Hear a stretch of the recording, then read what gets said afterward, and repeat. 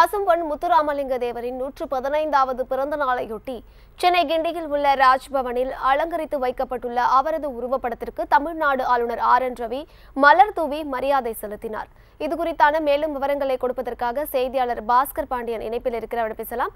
பாஸ்கர் பசும்பொன் முத்துராமலிங்க தேவரின் நூற்று பதினைந்தாவது பிறந்த நாளையொட்டி சென்னை கிண்டியை பொறுத்தவரைக்கும் என்னென்ன சிறப்பு ஏற்பாடுகள் பாதுகாப்பு ஏற்பாடுகள் எல்லாம் செய்யப்பட்டிருக்கு? விவரங்கள்.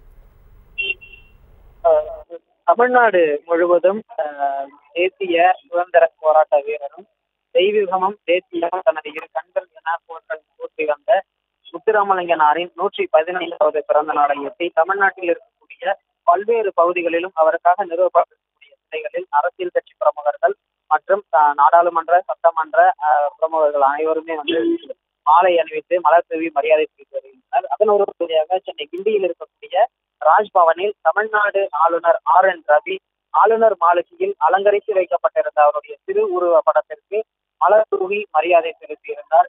இந்த நிகழ்வின் போது ஆளுநர் மாளிகையில் பணியாற்றக்கூடிய பாதுகாப்பு அலுவலர்கள் மற்றும் ஆளுநர் மாளிகையினுடைய அரசு அதிகாரிகள் பலரும் கலந்து கொண்டு அந்த திருவுருவ படத்திற்கு மலர் தூவி மரியாதை செலுத்தியிருந்தனர்.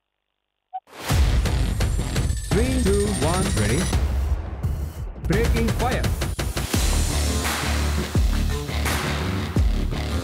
on. Camera ready. On and.